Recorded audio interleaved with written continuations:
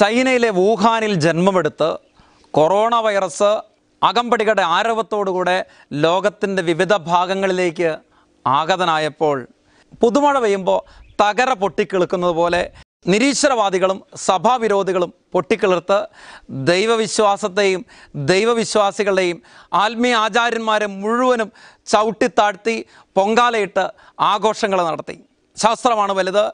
ശാസ്ത്രം നമ്മളെ രക്ഷിക്കും. ദൈവം മരിച്ചു ശാസ്ത്രം ദയിച്ചു എന്നെല്ലാം ഫ്ലെക്സ് ബോർഡുകൾ സ്ഥാപിച്ച് ആഘോഷങ്ങളാൽ ആർപ്പിട്ടു.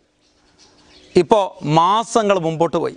ഇതുവരെ ശാസ്ത്രത്തിന്റെ പരീക്ഷണ നിരീക്ഷണങ്ങൾ കൊണ്ട് യുക്തിപരമായ അവലോകനത്തിൽ ഒന്നും കണ്ടെത്താൻ സാധിച്ചിട്ടില്ല. ഇപ്പോൾ ദൈവമക്കൾ ഹൃദയം നൊന്ന് പ്രാർത്ഥിക്കുക.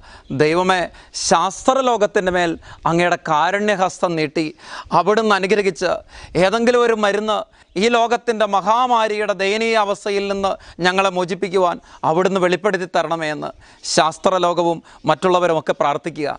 എന്തായാലും ഈ കോവിഡ് രോഗത്തിന്റെ അമിത താപനത്തിൽ നിരീശ്വരവാദികളും സഭാവിരോധികളുമൊക്കെ അല്പം വാടി തുടങ്ങിയിട്ടുണ്ട്. എങ്കിലും മറ്റൊരു വശത്ത് വേറെ ചില പ്രസ്ഥാനങ്ങൾ ഇങ്ങനെ ഉടലെടുക്കുകയാണ്. പുര കത്തുമ്പോൾ കഴുക്കോലൂരുന്നു എന്ന് പറഞ്ഞ കണക്കിന് സഹായഹസ്തങ്ങളായി എത്തുന്നവരുണ്ട്. രാഷ്ട്രീയ പാർട്ടികളും സംഘടനകളും പ്രസ്ഥാനങ്ങളും ഇപ്പോൾ സജീവമായിട്ട് രംഗത്തുണ്ട്. തീർച്ചയായും ഒരുപാട് പേരുടെ കൂട്ടായ പരിശ്രമവും ഐക്യവുമൊക്കെയാണ് ഈ പ്രതിസന്ധികളെ മറികടക്കാൻ ശക്തിയും ബലവുമായി മാറുന്നത് എന്നുള്ളത് സംശയമില്ല. വളരെ പ്രത്യേകിച്ച് കേരളത്തിലും അങ്ങനെ തന്നെയാണ്. എങ്കിലും ചില സംശയങ്ങൾ മനസ്സിൽ ഉടലെടുക്കുകയാണ്. ഈ കൊറോണ വൈറസിന്റെ ജനിതക മാറ്റത്തെക്കുറിച്ച് ഈ നാളുകളിൽ വായിക്കുകയുണ്ടായി. എന്ന് പറഞ്ഞാൽ അതിന്റെ ഓരോ ഘട്ടത്തിലും അതിന് ചില മാറ്റങ്ങൾ വരുന്നു പോലും. എനിക്ക് തോന്നുകയാണ് ഇതിന്റെ സമൂഹ വ്യാപനത്തിലും മറ്റു തരത്തിലുള്ളതായ പകർച്ചയിലുമൊക്കെ ചില മാറ്റങ്ങൾ ഇങ്ങനെ വരുന്നുണ്ടോയെന്ന് എന്ന് വെച്ചാൽ മറ്റൊന്നുമല്ല ചിലർക്ക് ഇത് പടർന്നു പിടിക്കുകയില്ലേ? ചില സ്ഥലങ്ങളിലും ചില വ്യക്തികളിലും മാത്രമേ ഇത് പടർന്നു പിടിക്കുകയുള്ളൂ എന്നൊരു നേരിയ സംശയം. സത്യമായും പറഞ്ഞാൽ ഈ കോവിഡ് പത്തൊമ്പത് വളരെ വിവേചനപരമായിട്ടാണ് പെരുമാറുന്നത്. മറ്റൊന്നുമല്ല ഈ ദിവസങ്ങളിലെ പത്രമാധ്യമങ്ങൾ ഒന്നെടുത്ത് പരിശോധിക്കാമോ? കണ്ണൂർ ജില്ലയിൽ ഉൾപ്പെടെ നിരവധി ഇടങ്ങളിൽ ട്രിപ്പിൾ ലോക്ക്ഡൗൺ ആണ്. എന്ന് പറഞ്ഞാൽ ഒരു കാരണവശാലും അങ്ങോട്ടും ഇങ്ങോട്ടും സഞ്ചരിക്കാൻ പാടില്ല.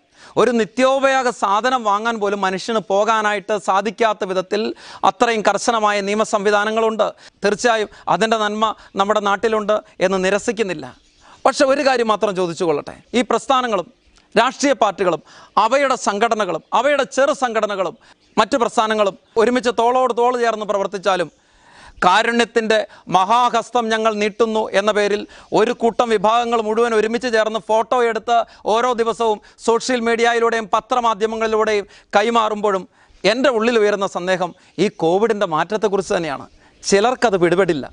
കാരണം മറ്റൊന്നുമല്ല ചിലയിടങ്ങളിൽ ആറും ഏഴും പേരൊക്കെ അങ്ങിങ്ങായി നിന്ന് ചില ആത്മീയ ശുശ്രൂഷകളിൽ പങ്കുചേർന്നു ദേവാലയങ്ങളിൽ ഒരുമിച്ച് ചേർന്നു. വളരെ വേദനയോടുകൂടെ ഓർക്കുകയാണ്. കൊച്ചിയിലുള്ള ഒരു വെസ്റ്റ് ഐലൻഡിൽ ഒരു കൊച്ചു ദ്വീപാണത്. ഒരു വൈദികൻ ബലിയർപ്പിച്ചപ്പോൾ പുറമേ നിന്ന് വന്ന മൂന്ന് സ്ത്രീകൾ അതിനുള്ളിലേക്ക് പ്രവേശിച്ചു നിന്നു.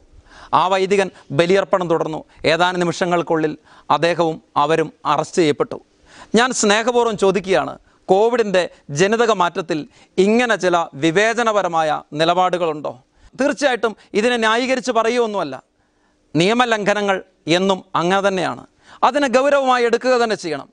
പക്ഷേ അത് ചിലയിടങ്ങളിൽ മാത്രം മതിയോ എന്നൊരു ചോദ്യം ബാക്കി നിൽക്കുന്നില്ലേ? ഇതെല്ലാവർക്കും ബാധകമല്ലേ? കോവിഡിനുണ്ടോ രാഷ്ട്രീയക്കാരെന്നും മത ആചാരക്കാരുമെന്നും ഒക്കെയുള്ള വ്യത്യാസങ്ങൾ? അറിയില്ല. ചിലപ്പോൾ ജനിതക മാറ്റം എന്നൊക്കെ പറയുന്നത് ഇങ്ങനെയാണെങ്കിലോ? എന്തുമാകട്ടെ ഇത് നമ്മുടെ ചിന്തകൾക്ക് വിഷയീഭവിക്കേണ്ടതല്ലേ? മാസ്ക് വിതരണങ്ങളും ഭക്ഷ്യധാന്യ വിതരണങ്ങളും ഒക്കെ നടത്തുന്നിടത്ത് എത്ര പേരുടെ തലയും കൂട്ടവുമാണ് പ്രത്യക്ഷപ്പെടുന്നത്? അതിൽ നിയമപാലകർ പോലും ഉണ്ട് എന്ന് അല്പം സ്വരം താഴ്ത്തി വേദനയോടുകൂടെ പറഞ്ഞുകൊള്ളട്ടെ. ചിലപ്പോൾ നമുക്ക് പറയാം അതൊക്കെ പോസിറ്റീവായിട്ടുള്ളൊരു കാര്യമല്ലേ? അതൊക്കെ സമൂഹത്തിന് മുമ്പിൽ പ്രതിഫലിപ്പിക്കപ്പെടേണ്ടതല്ലേ?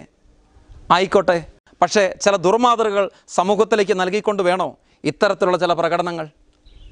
ഇത് എല്ലാവർക്കും ആയിക്കൂടെ ഇത് ഒരു പരിചിന്തനത്തിനായി നമ്മുടെ ഹൃദയത്തിലുണ്ടായിരിക്കട്ടെ നിയമ സംവിധാനങ്ങളോട് ഒരേ ഒരു ചോദ്യം.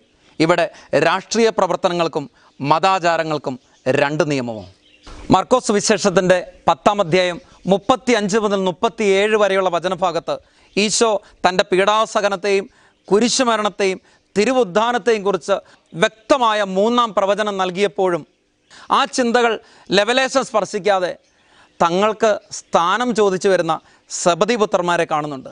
കർത്താവെ അങ്ങയുടെ രാജ്യത്തിൽ ഞങ്ങളിൽ ഒരാൾ വലതുവശത്തും മറ്റൊരാൾ ഇടതുവശത്തും ഇരിക്കാൻ വരം തരണമേ എന്ന്. എന്ന് പറഞ്ഞാൽ ഈശോയുടെ പീഡാസകനമോ കുരിശുമരണമോ അല്ല അവരുടെ വിഷയം. മറിച്ച് തങ്ങളുടെ സ്ഥാനത്തെക്കുറിച്ചാണ് റോം കത്തിയിരിയുമ്പോഴും നീറോ വീണ വായിക്കുകയായിരുന്നു എന്നൊരു ചൊല്ല് കേട്ടിട്ടില്ലേ? അതങ്ങനെ ആയിരുന്നു താനും. അങ്ങനെയെങ്കിൽ ഈ നാളുകളിൽ പ്രതിസന്ധി ഉടലെടുക്കുമ്പോൾ അതിനെക്കുറിച്ചൊന്നും ചിന്തിക്കാതെ തങ്ങളുടെ രാഷ്ട്രീയ പ്രസ്ഥാനത്തെയും സംഘടനകളെയും വളർത്താൻ ഗൂഢശ്രമം നടത്തുന്നവരുടെ ഉള്ളിലും ഇതേ ചിന്ത തന്നെയല്ലേ? പുരകത്തുമ്പോൾ വാഴ വെട്ടുന്നു എന്ന് പറയുന്നതായ ഒരു മനോഭാവം. ഇത് ശരിയോ?